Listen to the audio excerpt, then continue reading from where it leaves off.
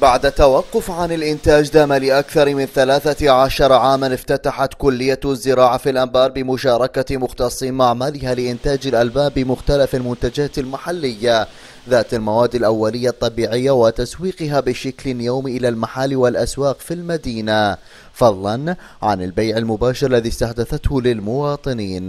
بدت فكرة صناعة الألبان هنا على أساس الدروس العملية وبدت نريد نغطي التكاليف تكاليف الحليب تكاليف أجور العمال آه، أجور المواد.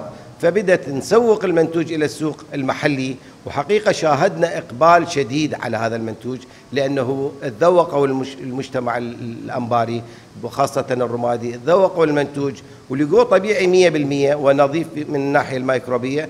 فبدأ إقبال عليه. الأسواق والمحال المخصصة ببيع الألبان باتت المنتجات المحلية فيها هي الأوفر وتشهد رواجا وانحسارا للمستورد منها دون إقبال المستهلكين عليها. نحن أصحاب المحلات جاي نشوف الإقبال على المنتج العراقي. يعني كان المستورد هاي الألبان إيراني آه، أردني تركي فهسه قامت تشتغل مصانعنا الأنبار الجنوب الشمالية بغداد دا تجينا أقبال الناس تريد العراقي. أزيد من المستورد.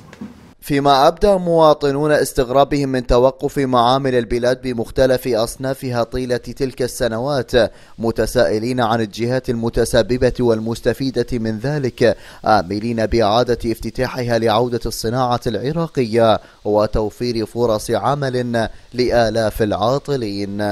إحنا محافظة الأنبار نطالب بإعادة المصانع الغذائية في كل أنحاء القطر العراقي بلدنا العراق.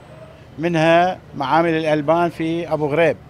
منها معامل الألبان موجودة في الحلة وديالة وفي الأنبار وفي كل أنحاء البلاد. يجب أن تتجه الدولة ويتجه الشعب لمساندة هذه البضاعة البضاعة العراقية الناصحة والرخيصة والجيدة.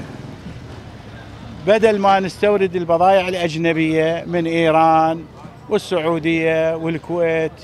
وبحسب مراقبين فإن الحراك السياسي القائم والمطالب بالتغيير والإصلاح أثر إيجابا بتشجيع المنتج الوطني وإعادة افتتاح الكثير من المعامل الصناعية بمختلف المنتجات. من الأنبار معاذ الفهد قناة التغيير.